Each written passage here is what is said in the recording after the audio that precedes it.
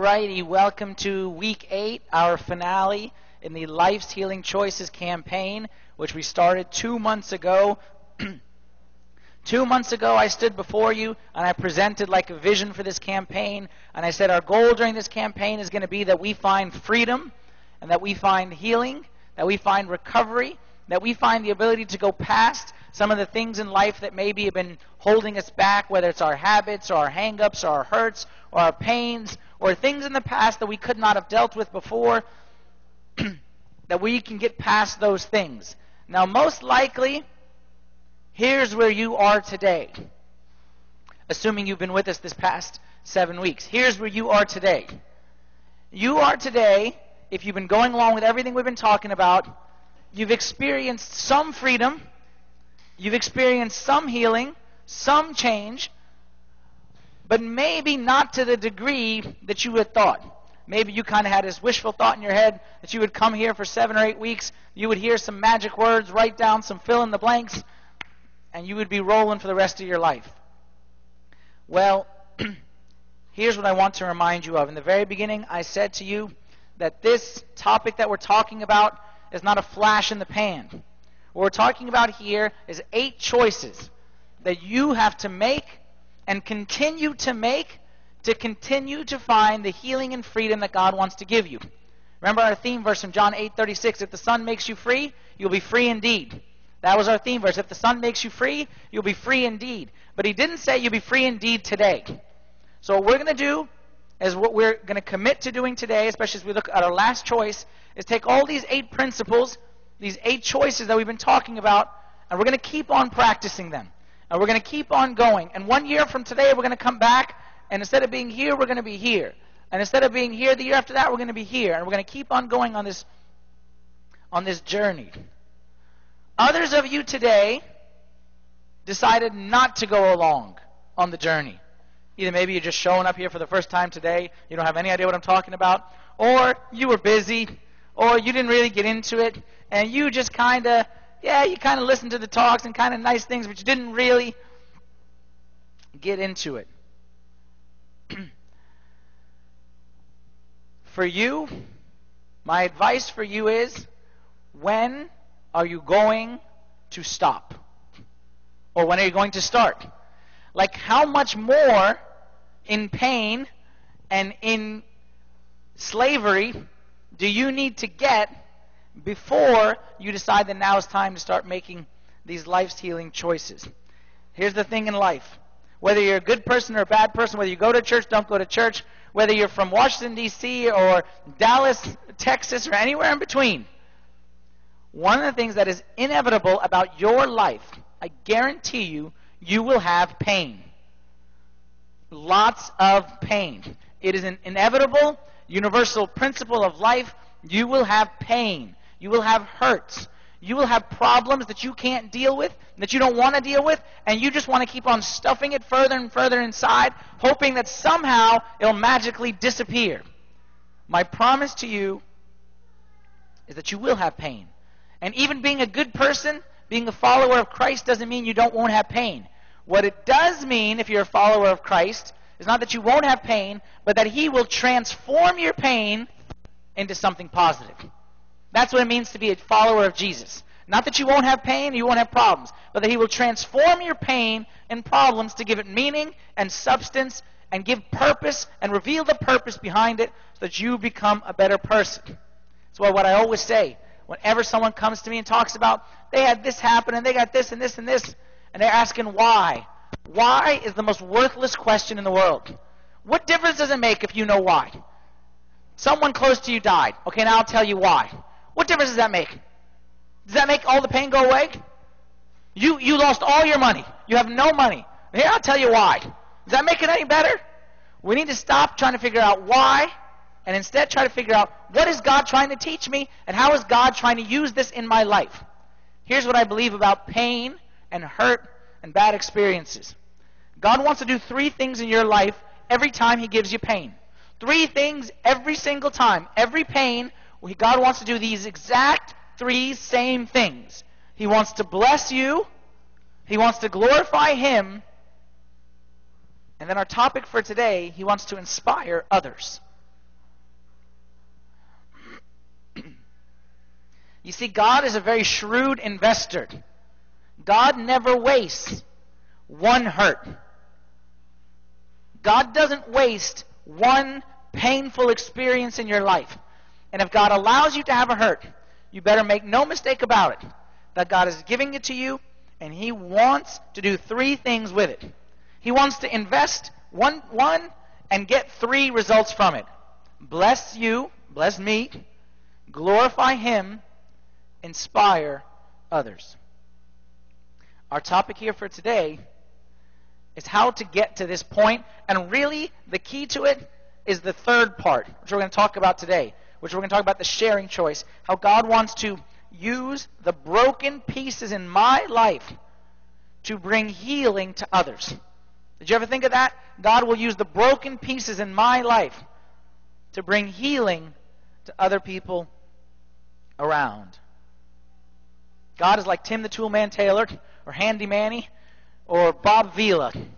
No matter what's broken, he can fix it. And not only can he fix it, he can fix it and use it to make cool stuff. Maybe MacGyver is a better, a better analogy. God can use things that seem worthless and that seem painful, and he can do amazing things in your life through these things and in the life of others. Our beatitude for today is Matthew 5 9. Blessed are the peacemakers. Very simple, very straightforward. God wants us to be peacemakers. and if you follow kind of like the, the course of salvation in the world, how God works, God wants to give peace so that you can share peace. God wants to give me peace and make peace with me so that then I can go out and give that same peace to others. the Bible says God wants us to be peacemakers, not just peacekeepers. And if you have experienced some peace from God, He's giving it to you so that you can share with others. You know why this topic is so important? What I've seen in my experience with a lot of people who struggle with pain or hurts or whatever, when are you done healing from a pain? Like, when can I say I've gotten past this issue? The answer is when you begin to help others get out of it as well. That's when you know you're done, when you've hit recovery point. You are healed when you can begin to go out and help others to find healing as well. It's the number one proof that you have overcome the pain or the rejection or the betrayal or the hurt or the habit when you don't waste it, but then you make use of it in the life of someone else. And in addition, I can guarantee you this the only way, the only way to make a short term change into a long term change is to share it with others. The only way you're going to take the short term changes that you have been able to make and make them into long term life character changes is you begin using it to help others. That's what engraves it inside of us. 2 Corinthians chapter 5 verse 19. God was in Christ, reconciling himself, re- sorry, reconciling the world to himself, not imputing their trespasses to them, and has committed to us this very same word of reconciliation. You see the transaction? God reconciles and then gives us the key to the reconcile reconciliation truck and says, "Go out and give recon- help others find reconciliation as well." That's our sharing choice for today. The eighth and final choice that we must make in order to find healing and find freedom is I choose to yield myself to God to be used to bring the good news to others, both by my example and by my words. This is me saying, God, I'm going green. I allow you to recycle my pain. I'm going to take my pain and not just throw it away and not just keep it for myself. I'm going to put it in the recycler, and you can use it to help someone else down the road. You didn't know God was green, did you? This is the choice that we need to make today. Now, I can read some of your minds. I can read some of your minds. Some of you are saying, hold on. You want me to take my pain and share it with others? Man, I can't even share it with myself. I can't even deal with it myself. You want me to express it to others and try to help others? Yeah, right. Some people think to themselves, I can't do that because I got a lot more to go. I got a lot more way to go in this thing. Let me tell you a little secret. And I'm telling you this, I'm even, this isn't something I shouldn't even say. It's like a code amongst us priests that we don't tell this to others, but I'll let you in on a little secret. That I stand up here every Sunday. Do I got it all together? I appreciate you not answering quickly. The answer is no. And I don't have it all together. And I don't have it all figured out. But here's what I got. All I need to do is be one step ahead of where you are. And then I can stand up here and help you. That's it. I don't need to be perfect. All I need to do is that God has taken me from here to here, so I can just go back one step and help these guys to get here. I don't have all the rest of it figured out. I wish I did. I don't. But I know the step from here to here. So here's what I'm going to do. I'm going to go back to this step and see someone here and help them take this step. That's it. That's all my job is. Okay? We make it seem fancy and we got it all, we got nothing figured out. All I need to know is how to go from here to here. And if I've experienced it, I take a step back and I share it with others. To be honest, the concept of, okay, so this idea that you have in your mind that God only uses perfect people, God only uses people who have strengths and doesn't use people who have weaknesses, is completely false. God has never in the history of the world used a perfect person. Because there are no perfect people. God uses weak people all the time. And in fact, it's better that God uses weak people, right? Don't you, don't you think it's a better system that God works through weak people, not through strong people? Imagine I stand up here. Let's say we're talking about like prayer. Okay? So I stand up here and I'm going to give you a lesson on prayer. And I'm going to say, I'm the best person in the world on prayer. I can pray any time of day, all the time, and I don't. Prayer is easy for me. Like, prayer is the easiest thing in the world for me, and I can do it 24 hours a day, and I cry after an hour of prayer that I have to end it. I cry. What would you think about me? You'd hate my guts. You'd hate me. You would have every right to hate me because you can't relate to that. If I come up here and say, see how uh, I got it all figured out and, and, and, and I got everything in perfect order, you'd hate my guts. But if I stand up here and say, I stink at prayer, but look how I'm trying, and this is what I learned that helped me out. Do you think you could give it a try? Which you relate, which is more encouraging? It's very encouraging when you see someone stand up here and say, I don't have it all figured, and you think to yourself, man, even Abouna Anthony, if he's if he struggles with it, if he strugg- if a saint like him struggles with it,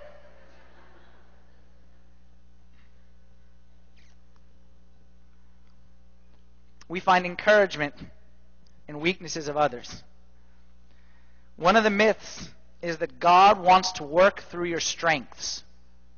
And it is false. God wants to work through your weaknesses a lot more than through your strengths. When deciding how you want to serve God, don't just look at your strengths. Look at your weaknesses. Because oftentimes it's those very same weaknesses that God wants to use. Good example for us we're going to look today at the life of St. Paul. St. Paul was someone who had a lot of strengths, but he also had a lot of weaknesses. And what you're going to see is his weaknesses bore us a lot more encouragement and a lot more fruit and a lot more pick me up. His weaknesses helped me more than his strengths helped me. We're going to see that today. Did you know there was a time in the life of St. Paul where he was weak, really weak, so weak and so down that he said he even despaired of life itself. St. Paul was about to pull the plug on life. And he said, I can't. I'm done. I can't take it. You, you, you can relate to that, that frustration. Maybe not to that degree, but that frustration of, I, I have no control. My life is out of my control. I can't. I'm done. I can't. St. Paul said that one time. And look what he said after that. He said, Blessed, 2 Corinthians 1 3. Blessed be the God and Father of our Lord Jesus Christ, the Father of mercies and God of all comfort, who comforts us in all our tribulation, that we may be able to comfort those who are in any trouble with the comfort with which we ourselves are comforted by God. Did you catch that one? What he's saying is, is I've seen some hard times. But it's from those hard times that God comforted me. And my greatest ministry has been in comforting others in the same way that God has comforted me. Your greatest ministry and effect and influence in life will not flow from your strengths, but rather from your weaknesses. Who's the best person who could help someone quit smoking? Who's the best person who could help someone quit smoking? Someone who's quit smoking. Someone who smoked for years and couldn't quit, and then they quit. Out of that weakness came a strength. I cannot lead a quit smoking ministry. It would be worthless. I would just say, don't smoke. And that would not be very encouraging for anyone. Who's the best person to help someone who has lost a loved one to cope with that? Me? Who all my family's around? Who's the best person to help someone who's lost a loved one? Someone who's lost a loved one. Who's the best person to encourage and pick me up to single moms? Single moms. Maybe your greatest weakness, God wants to use it as your greatest influence and encouragement to other people. Do not, please, waste your pain. Do not waste your pain. You know the pain that you've gone through in life, and you know the rejection, and you know the hardships and the tribulations. Don't waste it. God wants to use it. Don't just throw it away. Today we're going to see how God wants to use my pain and how I can begin to help others. How I can share, make the sharing choice so that I would be blessed, God would be glorified, and others would be inspired. Four ways that you can make the most out of your pain. Number one is you share how pain got your attention. I shared how pain got my attention. When God gives pain, pain is never the problem. Pain is just the symptom. Pain or hurts or whatever it is is exactly like the oil light in your car, or the gas light. The gas light in your car. The little thing on the car that lights up with the little gas tank is not the problem. The problem is not the light bulb. Because if the problem is just the light bulb, you could just smash it with your hand and make the light bulb go off. The problem is not the light bulb. The problem is what the light bulb is indicating. And a lot of us is the same way. You got pain in your life. You got problems in your life. You got financial problems. You got relational problems. You got stress. You got problems. Man, the problem isn't the problem. The problem is what's underneath it that God is just trying to get your attention for. Proverbs chapter 20, verse 30. Can you relate to this verse? Blows that hurt cleanse away evil, as do stripes the inner depths of the heart. Can you agree with this? Everyone agree with this? That sometimes it takes blows that hurt. I love that verse. Blows that hurt to cleanse the inside. Like the little love taps that God likes to give us. Man, those we don't change with those. We don't change when God says, It's now it's a nice time to change. Now I'm trying to get your attention. Excuse me. Hello. No, we don't change when God does that. Sometimes it takes blows that hurt. And sometimes you're really thick headed, takes several blows that hurt. But it's always done to cleanse the inside. I'm sure if I asked you to tell me a story of one time where you didn't get the nice, and it took a I'm sure every single person in this room could share a story. How many times do I sit in my office? Someone says, I got to see you, Boone Anthony. I need to talk. I need to talk. Okay. need to talk. Married person. Tell me, I, I just can't stand her anymore. I don't understand her. She's crazy. Okay, relax, calm down. Where are things at? Where's she at? Oh, she moved out and living with her mom. Where were you six months ago? Why you wait till she move out to say there's a problem? Why? How do people come to me in their spiritual life? They'd say, you know, I made this mistake and this, and I made this, I made the worst mistake, and I don't know what I'm to do. Did this just happen overnight? Did this happen overnight? It didn't happen overnight. Why do we wait till we hit the bottom to wake up? I don't know, but that's our nature. That's our nature. So what God does, because He loves us, is He makes it hurt. Because unfortunately, oftentimes, we don't change until the hurt is too much. There's an expression I read in a quote and I read in a book that God has to lay us flat on our back in order to get us to look up to Him. God has to lay us flat on our back in order to get us to look up to Him. Pain is God's wake up call. Pain is God's way of saying, Hello, you there? Do you see me? Okay, you don't see me? Well, you're going to see me now. C.S. Lewis, I believe, is the one who said that God whispers to us in our pleasures and he shouts in our pains. Pain is God's megaphone to get your attention. You remember the story of the prodigal son? Everyone knows that story, right? Luke chapter 15. Prodigal son made lots of mistakes. Came back to his father. He repented. The Bible says he came to himself. He came to his senses. Realized his great mistake. What made him realize his mistake? What made him realize his mistake? Was, did he realize his mistake as he was sipping on his latte in a Starbucks? as he was raking in the money and checking out his bank statement and realized, oh, you know, I think I need to make a change right now. What made him made him realize he made a mistake? Was when he was looking at the pigs and the pigs were laughing at him. And the pigs wouldn't share their snacks with him.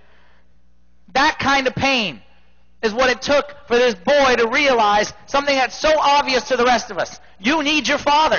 You can't live without you. It's so obvious to us. He didn't realize it till the pain became so much. That's our human nature. It doesn't have to be that way. It's your choice. But God's going to get your attention one way or the other. Another story from the Bible. You guys know the story of Elijah. Elijah was a man of God, strong man of God. God loved Elijah.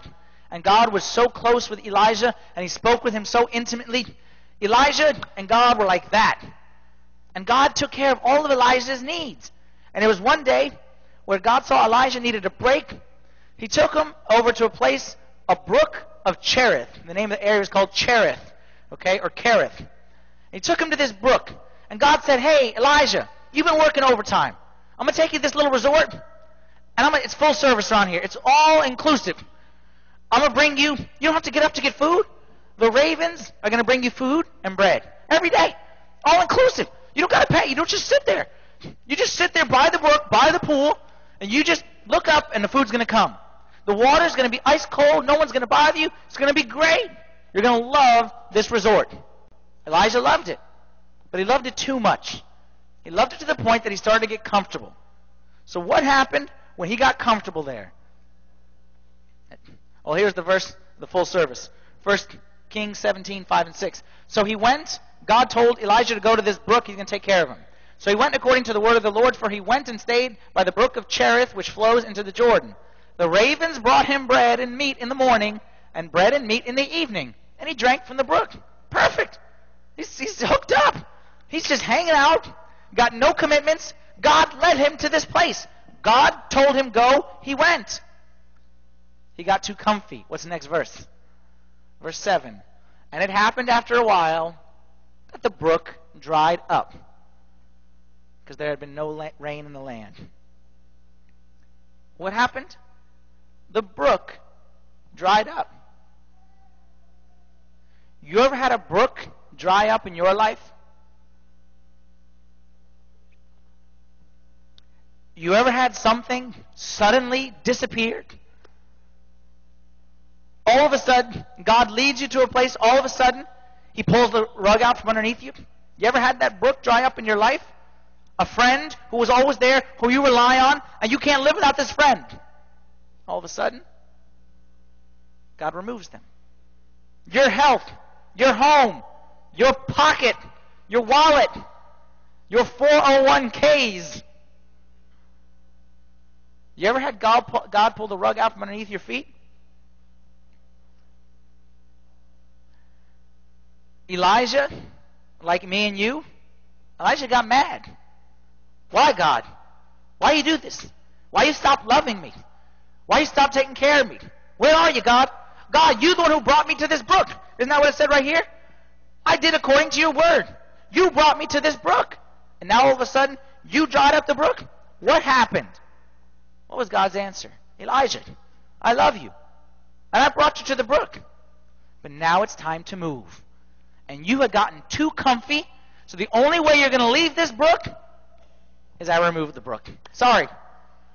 I was whispering to you saying, Elijah, now it's time to pack up. Now is last call here at the brook. Ravens are leaving now. It's, it's time to go. You didn't hear it. So what I had to do? I dried up the brook.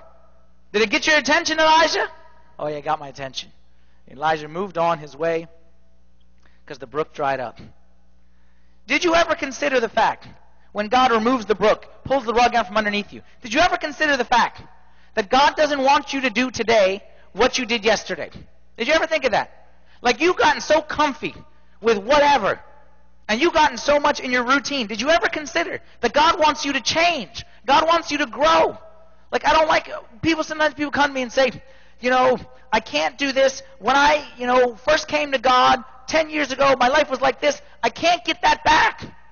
Why do you want to get that back? God doesn't want you to get that back. God wants you to go forward, not backward. This is like someone who's in, in, in 10th grade saying, Man, I remember in second grade, I was in the best reading group. Man, I was, uh, life was great, and my grades were great. If I could just go back to second grade, things would be okay. No, it wouldn't be okay. It wouldn't be okay. God wants you to learn this 10th grade stuff. And then after that, He's going to want you to learn 11th grade. God wants us to move forward not backward. And sometimes God Himself will take you to a brook, and then He Himself, with His own hand, will remove the brook. There must be a reason why. That leads us to the second way that we can share to help others. As I share not just what God did, but what God taught me, what I've learned in the process. Again, God doesn't waste a hurt. And if God brought a hurt, and brought a pain, there's a lesson inside it. The only way to learn this lesson, though, and to see what God like wants to teach me, is I have to be open, honest, authentic, genuine, whatever the word you want to use, sincere, whatever word. I have to be honest about what it is that God is doing in my life. I have to be honest about certain things. Number one, I need to be honest about my feelings. Okay? I need to be honest about my feelings. And not convince myself that everything's okay just because I want it to be okay. I need to be honest and say, right now, I'm annoyed. I'm frustrated. St. Paul did in 2 Corinthians chapter 6, verse 11. He said, O Corinthians, we have spoken openly to you. Our heart is wide open. He said, I'm not trying to pretend something I'm not. Okay? I got frustrations. I got stuff. I, am open. Okay? Uh, this is making me tired. I'm despairing even of life. Second thing, a little bit harder, our faults, our failures. 1 Timothy chapter 1 verse 15, St. Paul said, This is a faithful saying and worthy of all acceptance that Christ Jesus came into the world to save sinners, of whom I am chief. St. Paul is saying, I got no problem admitting I got problems. Okay? And I make mistakes all the time. I got faults. I got failures. I'm honest about it. Third, share my frustrations. Kind of ties in the feelings, but another F word's nice. Romans 7:15, the verse that we all know, and the verse that we all experience every single day, and if you don't experience it, you're lying. For what I am doing, I do not understand. For what I will to do, that I do not practice. But what I hate, that I do. Look, it isn't easy to admit this. This takes strength this takes guts, this takes courage. But this is the way that you can find healing to admit, look, I got stuff in my life. This is what I want to be, and this is who I really am. And that frustrates me. Trying to hide and say it's no big deal never works. And last one. Whoop. That should say my fears. I'm sorry. My fears. Okay? My fears is the last one on the backside. be honest about my fears. No one wants to be honest about their fears, but there's value. Let's see the value. 2 Corinthians chapter 7, verse 5 and 6. For indeed, when we came to Macedonia, our bodies had no rest, but we were troubled on every side. Outside were conflicts, inside were fears. Nevertheless, God who comforts the downcast comforted us by the coming of Titus. What happened here in this verse? St. Paul said, Inside me were fears, and then a boy named Titus came along, and he helped me with my fears. How? By sharing. By sharing. God wants to recycle your pain and use it for good in others, but you must first be honest about your feelings, your faults, your failures, your frustrations, and your fears. You got to admit the stuff that's going on inside. Now, let's be honest. We're not good at this. We're not good at this. We don't like feelings. We don't like to share feelings. Especially us, Egyptian, for the most part. Okay, there's only one feeling that Egyptians like to share, and they will share it loudly and proclaim it to the top of their lungs. That's the feeling of hunger. Other than hunger, we have a tough time being honest about our feelings. But that's the only way to find healing. Why? Think about it this way. You know how they say that you learn a lot from your mistakes, and you learn a lot from experiences and faults and things like that. It's very wise to learn from your experience. But you know what is wiser? In addition to learning from your own experience, to learn from the experience of others. Because here's the thing I got a lot of mistakes in life, but so do you. And you, especially with the number of people in this room, you got all kinds of mess up, okay, that I really would rather not get into myself. And I would be much quicker for me and much nicer for me just to kind of take your word for it and learn from your mistake without having to relive it myself. The body of Christ is better served when we lean on each other and you learn from my mistakes and I learn from your mistakes. So we're not reinventing the mistake wheel, so to speak. And we don't have to learn, we don't have to make the mistake ourselves and fall ourselves in order to gain from it. It's quicker and it's much better to learn from one another. This is why the Orthodox Church, why is it that we read the lives of saints? Why? To learn from their experience, both positive and negative. Why is it we study characters in the church history? To learn. Why is it that we have small groups? To learn from each other. You need to learn what God is doing in your mistakes as well as in the mistakes of others. That's why we need to share it. Third thing that I can share. Now we get to the good stuff. I share how God brings good out of bad.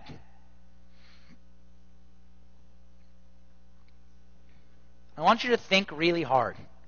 Shouldn't have to think too hard. Can you think of a time where God brought good out of a bad thing in your life? Meaning you defined it as bad, and God brought something great out of it? Every one of us has stories to tell about something that we prayed against, and we said no, no, no, and the biggest disaster, and God brought it to bless my life. Everyone has a story like that. Romans chapter 8, verse 28, most well known verse in the Bible, most least understood. Most least, under, least understood verse. Romans 8:28 We know that all things work together for good to those who love God, to those who are called according to his purpose. We know that all things work together for good to those who love God, to those who are called according to his purpose. No matter what happens in life, no matter what pain may be, I may not see the good, but I know. See, this is faith. That's what faith is. I may not see, but I know. I may not see good, but I know. Regardless of what I see, and regardless of what everyone else around me tell me, I know that God brings good out of all things. Not that everything is good, but everything works together for good. And that even though it may be bad on its own, when you put it all together, it works for good. I want you to think of God, okay? Like, see if I have a pen on me. Yeah. You know the symphony? Okay? This guy. Okay? That's who God is. God is this guy. And God looks at the back and he does like this to some guy over there, then he evens him back out. Okay? This is God standing above the universe. Forget the universe, standing above your life. And He has all the universe at His control, and God is orchestrating. Okay, nothing's random. Nothing's random. We don't believe in random. We don't believe in chance. We believe in a creator who is in charge of the universe and who is orchestrating. And God sees your life and he sees, let's say even someone does something bad. Okay? Someone hurts you and someone brings pain. As an orchestrator, maestro, God can see, hey, the tuba guy, he's gone up too high. So let me bring the violin guy. Okay, you come up to match him. Because this guy mistake, so I'm going to fix his mistake with you. I can do that. And now this guy in the back is way off. So what I'm going to do is I'm going to cut it short. Okay? Just to fix his mistake. That's how God is. That's how God is in your life. And every single second of the day, you don't realize it. That's what God is orchestrating for you. He's bringing good out of bad, bringing blessing out of pain. You don't see that. But He's always doing that. Can God bring good out of sins? Can God bring good out of sin? Let's see. What, what does the verse say? Don't think. What does the verse say? And we know that. What's the most important verse in this, word in this verse? All. Can God bring good out of sins? Can God bring good when people try to sin against me? Can God bring good out of catastrophes and natural disasters? Can He? Yes. That's what the verse says. There isn't anything that God can't make together for good. Let me tell you a funny story that happened in my house a couple weeks ago. Prove this point. It was a couple weeks ago. I woke up. It was a Monday morning. Okay, Monday's my day off. Okay, and somehow it had been like a busy whatever the week before, whatever. So I really needed this money. So I decided on this Monday, this is me Monday. Okay, this Monday's me. I hadn't watched the Skins game because I don't. I TiVo all the skins games. Okay, back when the skins were bent, like useful and, and and were relevant. Okay, so I TiVo the games. So this particular Sunday, I didn't get home till like 11 at night, and and I didn't have a chance. Like I was exhausted, so I just went to sleep. I was gonna wake up the next morning.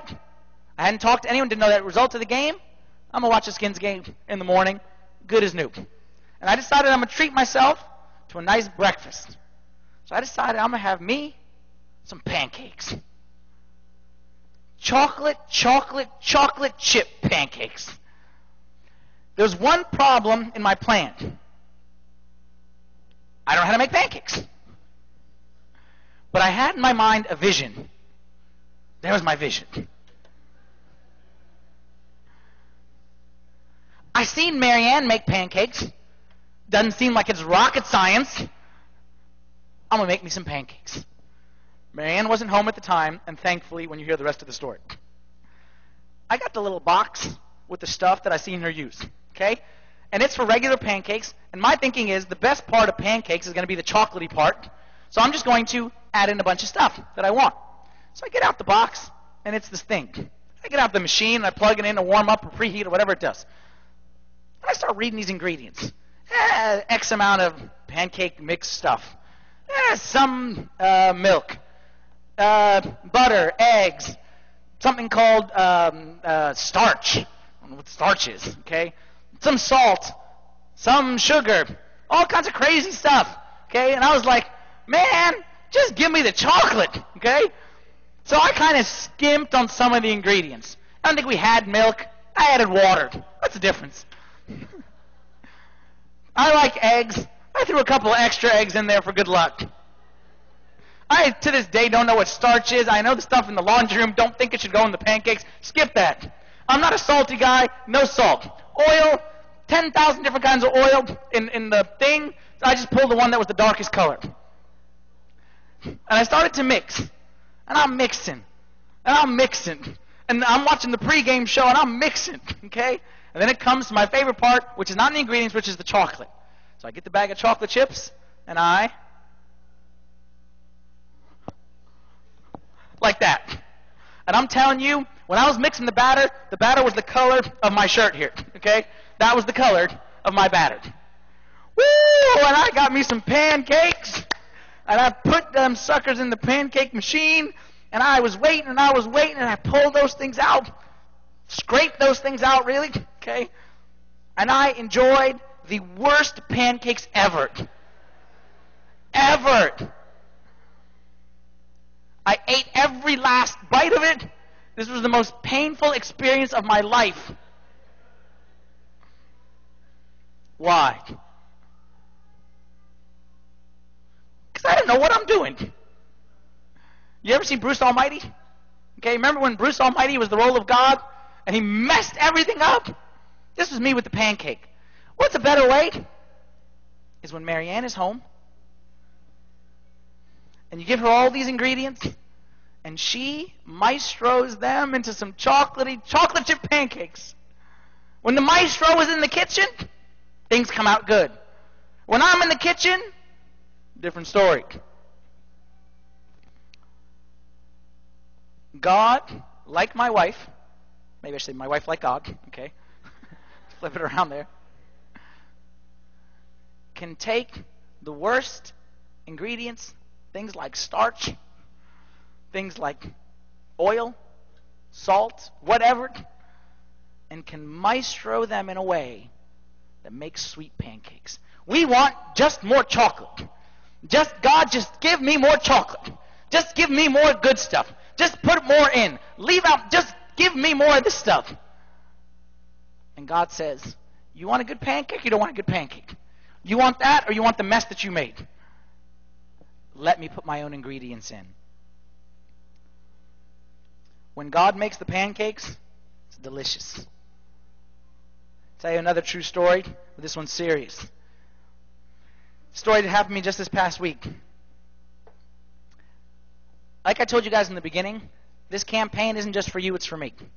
And it's for me first and foremost, and I benefited so much from this campaign, I'm sad to see it go. I love the book. I loved my small group.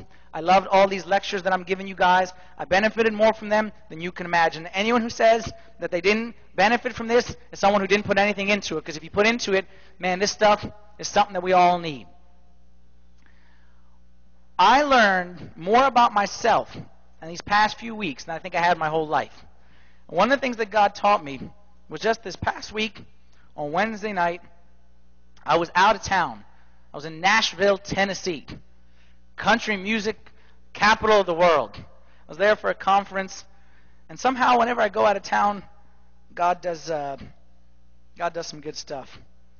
Recently, my life has been very busy.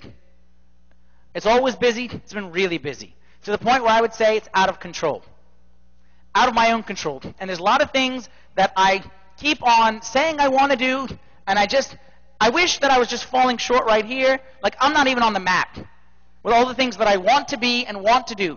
Personal, spiritual, relational, everywhere I want to be, I'd fallen so short in these past several weeks. So I made excuses. And I blamed the busyness and I blamed this and I blamed and I blamed everyone else around me, including you. Blamed everyone else around me. I remember the idea that was in my head for so long.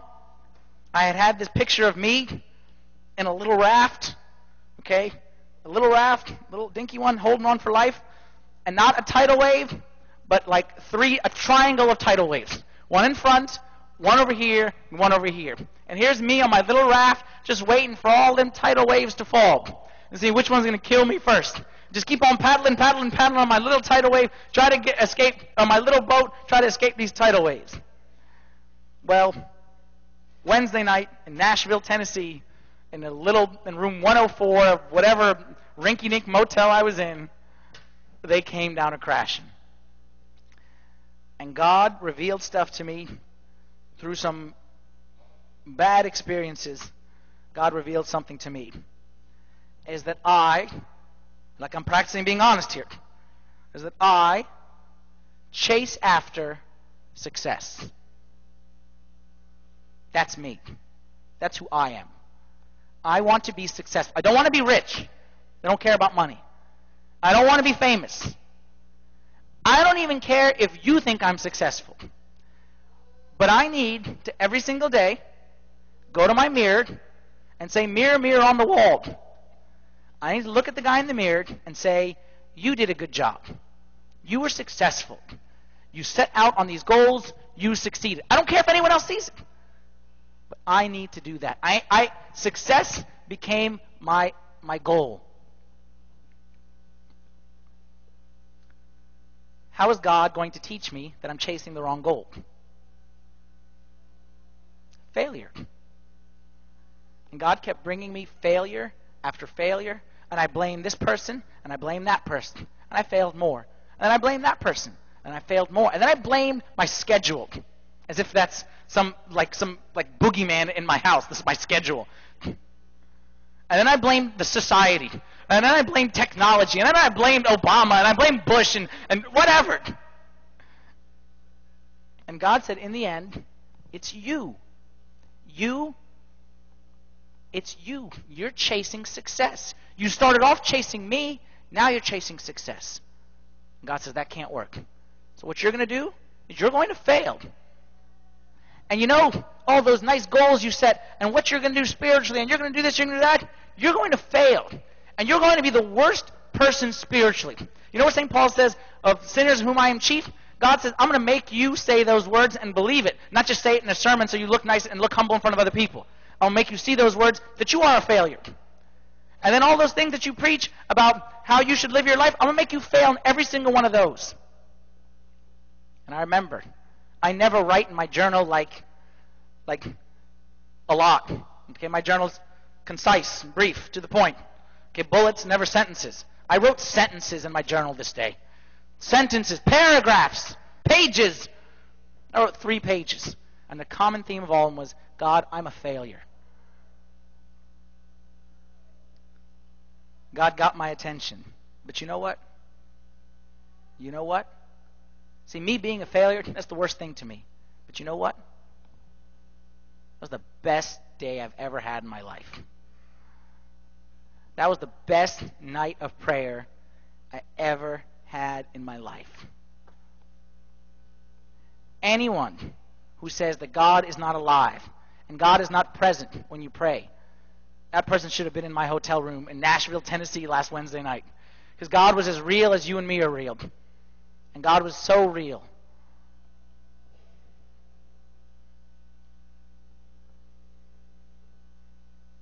What happened there? God brought me pain. He taught me a lesson. And then He brought good from that lesson. This is how God works. And then when I saw that this was the lesson for this week, God brings me pain. God gets my attention. He teaches me, you need me. And you're supposed to be chasing me. And you're trying to be successful just so you can be you need me. Remember me? Me? God used that pain, that frustration to bring about a lot of good in my life, and he wants to do the same in yours as well. But you got to let him. That's the key. You got to let you got to get your hand out of the mixing bowl. And you have to say, I don't know how to make waffles. God, here, you make the waffles. You got to accept that you don't know how your life is supposed to go. And you got to be honest about your problems, about your failures, about your frustration, about whatever, so that God can bring good out of those very same things. Here's what I want you to do right now in your head. I want you to think of the biggest mistake you have ever made in your life. The biggest disappointment or failure. The greatest shame that you yourself, you know it, but you don't want to talk about it, and you don't want anyone else to see it. The greatest thing that you regret or whatever in your life. Everyone got something in their mind? Now here, hold that. Don't, don't let go of that thought. I want you to hold that thought. And I want you to realize this. That before you were born, God knew that. Before you were born, God knew that. And God says, I still love you. God says, I still love you. I still love you. I still have a plan for you. I knew that. That, I knew that. It's not a surprise. No, I knew that. And I still got a plan for your life. Because there's nothing that you can ever do, with all due respect, that's higher than my plan. You can never foil my plan. With all due respect, you can't. Psalm 103, verse 10 and 11. I love these verses. Anyone ever feels down, Psalm 103 is your, is your, is your psalm. Psalm 103 is the best psalm. He has not dealt with us according to our sins, nor punished us according to our iniquities. For as the heavens are high above the earth, so great is his mercy towards those who fear him. When I read that verse, all I think to myself is, wow. Isn't that a wow verse? No matter what my stupidity, and what my idiocy, my failure, God says, I got a workaround for you. I got a workaround. You never paint me into a corner. You have the most miserable life. It's okay. I don't treat you according to your iniquities. God always has an escape plan for us. And God is always, remember, always. And no matter what mistake you may make, tuba player in the back row, third strings, violins, chorus, bass, treble, no matter what mistake you may make, He's always orchestrating. He's always got a way around it. And that leads us to our last point. As I share how Jesus gives me hope. Look, trust me on this one. Every single person that you meet today needs hope. Every single person that you meet or run into today is in need of hope in different areas, but there isn't a person out there. I told you, I stand up here and look perfect. I was the most one in need of hope this past week. Everyone has a hidden hurt, a hidden pain. And when you share how God has given you hope, you have a captive audience. Trust me. You have a captive audience who is waiting on every word to show how you found hope, even in the midst of your tough situations. So many these days, like I've never seen before, are on the verge of hopeless. I told you guys before, that's the worst thing. Is despair, hopeless, that's the worst. And so many people today are, are, are on the verge. Financial. So many people are on the verge of financially hopeless. Career, hopeless. Relational, desperate. Emotional, family stuff. Spiritual. So many people on the verge of hopeless. And maybe, just maybe, you, since you've been through it, are the answer that God is trying to send to them. Last verse here. 1 Peter chapter 3 verse 15. Always be ready to give a defense to everyone who asks you for a reason for the ask you a reason for the hope that is in you. You know what God wants us to be? You want to make short-term change, long-term change? You want to find long-term freedom? Become a hope dispenser. You know, in the lobby now in the church, there's that hand sanitizer dispenser. Okay, it's one of the fancy kinds. You just stick your hand under and it squirts on you. No touch necessary. That thing's cool. God wants me to be the same. But not with hand sanitizing, with soul giving hope too. God wants me to be a hope dispenser. Where someone runs into me, they found some hope. Someone runs into me, they find honesty. Someone runs into me, and then I don't see someone who's trying to hide and pretend and whatever. There's someone who's honest, who knows his mistakes, who knows his failures, who admits them to God, admits them to himself, and is willing to help someone else get in that same position, or get out of that same position, I, should, I should say. Who does God want you to share with this week? Are you ready? Are you ready to share? What I encourage you to do. I hope, like I said, this campaign has been something powerful in your life. But let's be honest. All we did was come up with an eight step formula of how to whatever, and then it's back to life as usual when we finish. Wasted my time, your time, everyone's time. We need to make this short term change and a long term change. And what's going to do that is when you are willing to become a hope dispenser when you are willing to continue to make these eight choices. And what I encourage everyone to do is hold on to your notes. Keep these eight choices always in front of you. Because there's going to be times in your life, like I said, pain is inevitable. You're going to have ups, you're going to have downs. Keep these choices in front of you and keep on working through them. And what you're going to see is God's going to take you from ninth grade to 10th grade to 11th grade to 12th grade. And no matter what may happen along the way, never forget who's making the pancakes. Never forget who's in the front of that orchestra. Is our great orchestrator God who makes good out of everything. Let's stand up for a prayer, please. Thank you.